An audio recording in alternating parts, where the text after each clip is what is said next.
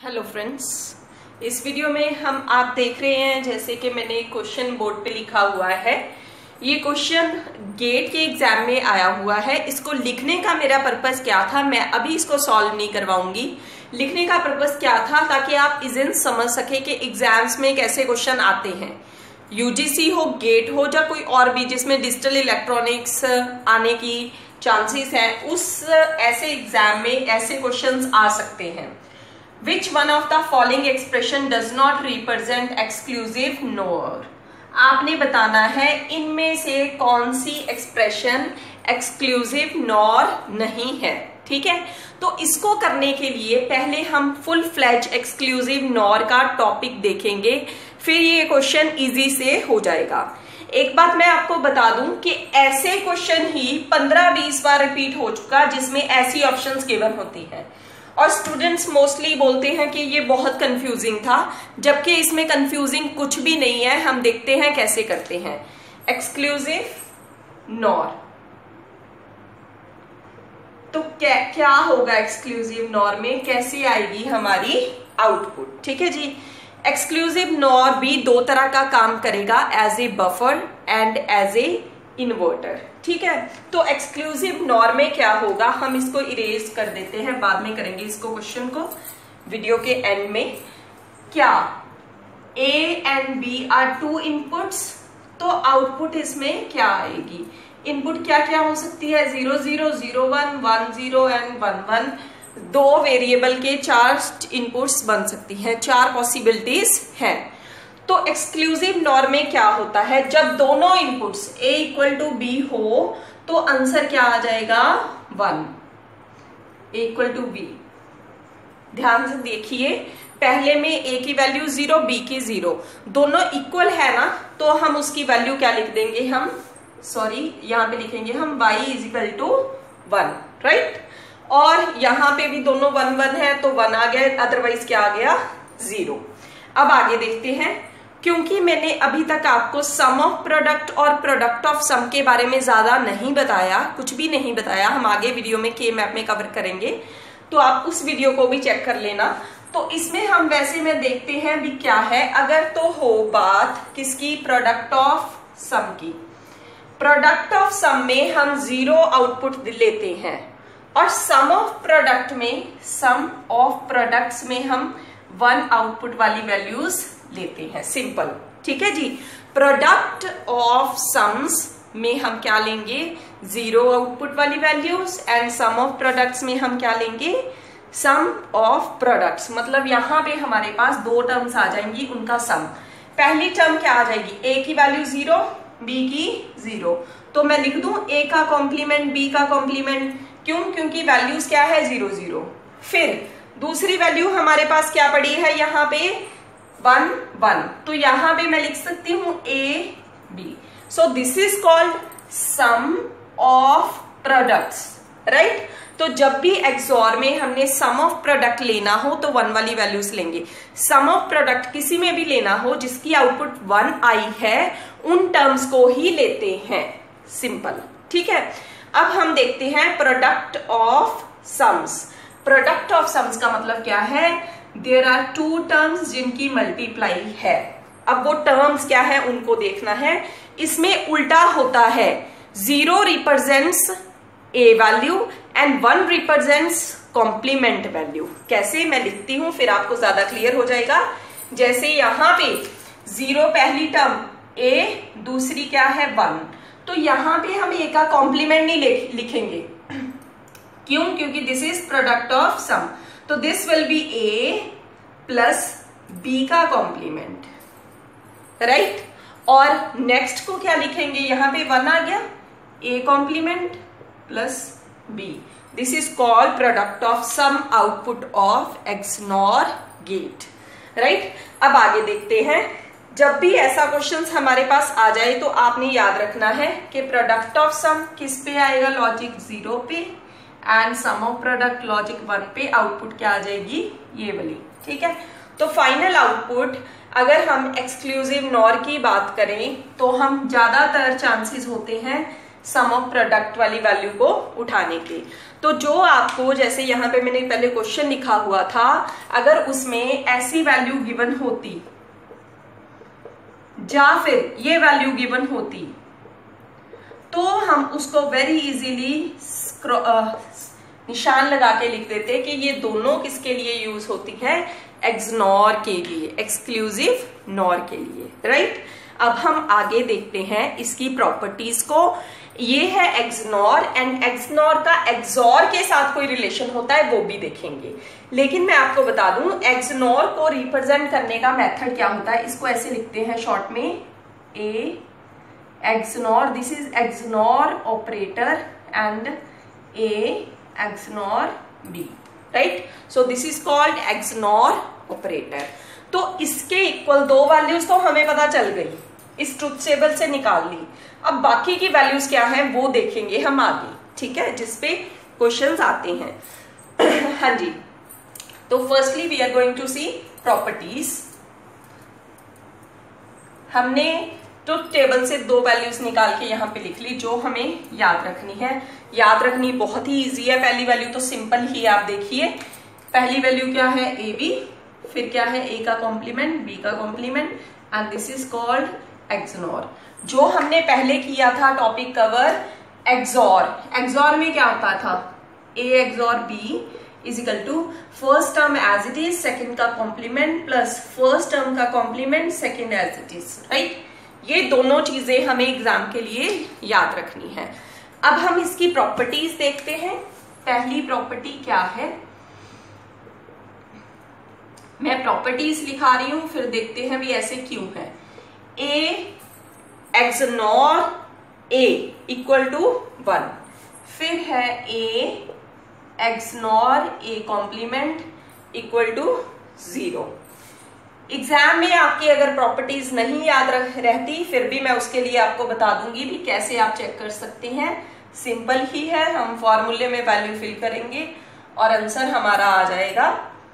A XNOR zero A complement E A XNOR A XNOR A is equal to A ठीक है? फिर अगर हम लें five times A five times A तो इसका आंसर भी मैं आपको बता रही हूँ कि ये भी क्या होता है हमारा ए तो ये हो सकता है हंड्रेड टाइम्स भी आ जाए तो उसका भी शॉर्टकट बताऊँगी आपको भी क्या होगी उसकी वैल्यू और लास्ट हम लिख रहे हैं four times four times A ठीक है? इसका आंसर हमारे पास आ जाएगा वन ऐसे क्यों आया? अब देखते हैं इसका सोल्यूशन पहले ए एक्सॉर ए वन क्यों है? A XOR A XNOR sorry this is XNOR तो एक्सनॉर के लिए हमारे पास ये वैल्यू होती है। पहले दोनों टर्म्स एज इट इज़ फिर दोनों का कॉम्प्लीमेंट यहाँ पे आ गया ए यहाँ पे आ गया ए कॉम्प्लीमेंट प्रॉपर्टी यूज़ करके बुलियन अलजेब्रा की आप वीडियो चेक कर लेना मेरी प्लेलिस्ट में। तो ये a plus A complement that is one right तो ये आ गया हमारा आंसर वन और फिर है a XNOR A complement same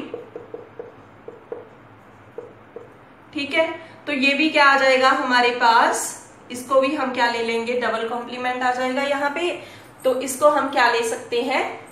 यहाँ पे सिंगल यहाँ पे डबल तो ये क्या बन जाएगा? ए ए मल्टीप्लाई ए कॉम्प्लीमेंट क्या आ जाएगा zero A multiply A complement zero किसी भी चीज़ का डबल कॉम्प्लीमेंट वो खुद ही ए ही आ जाएगा। तो यहाँ पे सिंपल ए ही आ जाएगा हमारे पास। तो दिस विल बी ज़ीरो ऐसे करते करते हम सारी प्रॉपर्टीज़ को चेक कर सकते हैं इजीली आप इनको चेक कर लेना। अगर फिर भी कोई प्रॉब्लम हो, आप कमेंट में पूछ सकते हैं।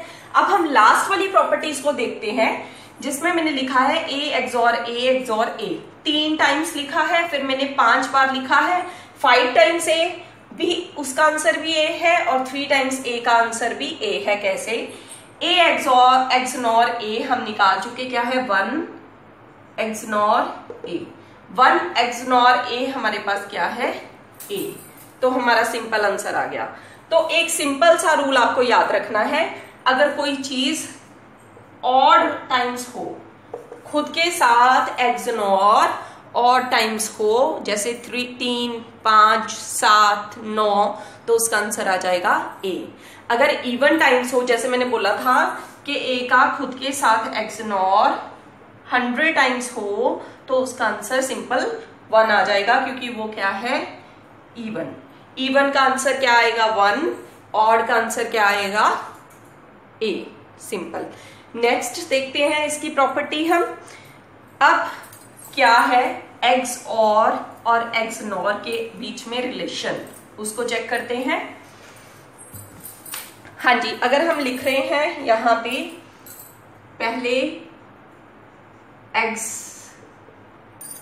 एक्स और फिर हम लिख रहे हैं X NOR so this is X NOR इसकी वैल्यू क्या होती है? First term as it is second का complement second as it is first का कॉम्प्लीमेंट इसमें क्या होता है? दोनों टर्म्स एज इट इज़ दोनों का कॉम्प्लीमेंट राइट right? तो इसको देखते हैं हम, दोनों में रिलेशन क्या होगा? अगर आपको एक्सोनोर की वैल्यू एक्सोर में निकालनी है, इसमें निकालनी है तो ये किसके इक्वल आएगी? ए का कॉम्प्लीमेंट एक्सोर बी मतलब इसकी आउटपुट और इसकी आउटपुट दोनों क्या होंगी? सेम राइट अब आगे देखते हैं। अगर ए की जगह पे बी के ऊपर कॉम्प्लीमेंट आ जाए तो भी ये क्या हो जाएगा? हमारा इक्वल राइट तो दो प्रॉपर्टीज़ तो आपको पता चल गई। अब आगे देखते हैं। अगर दोनों के ऊपर इकट्ठा कॉम्प्लीमेंट आ जाए तो भी क्या हो जाएगा? एक्स नॉर के इक्वल तो ध्यान दें आप, जो हमारा एग्जॉर था, अगर एक के ऊपर कॉम्प्लीमेंट है किसी भी एक के ऊपर तो भी वो क्या बन रहा है हमारा एक्सनॉर अगर दूसरे के ऊपर कॉम्प्लीमेंट है तो भी एक्सनॉर अगर दोनों के ऊपर साथ में मतलब होल कॉम्प्लीमेंट है तो भी वो क्या बन रहा है हमारा एक्स नॉर लेकिन कब नहीं बनेगा, वो ज़रूरी बात है, उसको ध्यान में रखना है। तो अगर मैं लिखूं A complement XOR B complement दोनों का कॉम्प्लीमेंट सेपरेटली तो this is not equal to X NOR तो ये एक्स नॉर के इक्वल नहीं होता। हम इन चीज़ों को वेरीफाई भी कर सकते हैं, लेकिन आपने एक बार दिमाग में रखना है कि ए एक्सनॉर बी किसके इक्वल होता है? एक्सॉर के इक्वल कब होता है? जब एक के ऊपर कॉम्प्लीमेंट हो, किसी भी एक के ऊपर।